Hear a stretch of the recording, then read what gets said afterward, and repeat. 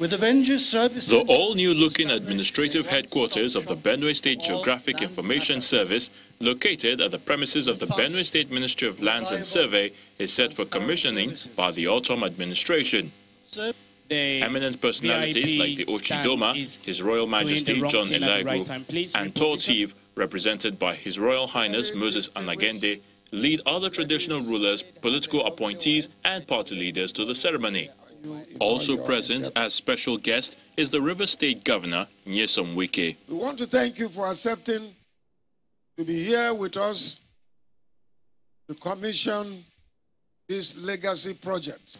The Commissioner for Lands and Survey, who supervises the Digital Land Administration project in Benue, explains how the project will ease and hasten the process of acquiring land titles and boost revenue. I am pleased to announce to you that the processing of certificate of occupancy has been reformed such that it takes just a month or two to get COO at the ministry. Aside the use of technology to process documents, His Excellency the Governor has also been graciously signing COOs, and I can tell you that from the time we started to now, his, the governor has signed the digital COOs more than 3,000.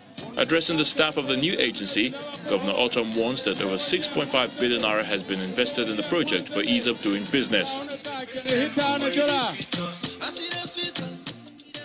I'm impressed that the decision of my administration to invest in this project is already yielding positive results with renewed interest of our people in land matters, as well as accelerated processing of certificate of occupancy.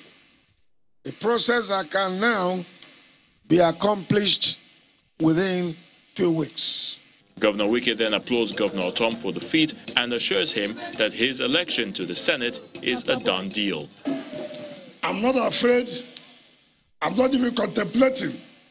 If anybody is contesting with you, the person should have a second thought because autonomy means well for the people of Benue State. There's no need to go and begin to challenge him.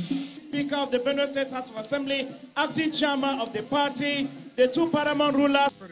The team moves to officially commission the edifice and inspect how land title processing is handled. The project is one that is tagged by many as a landmark achievement by the Ortom administration.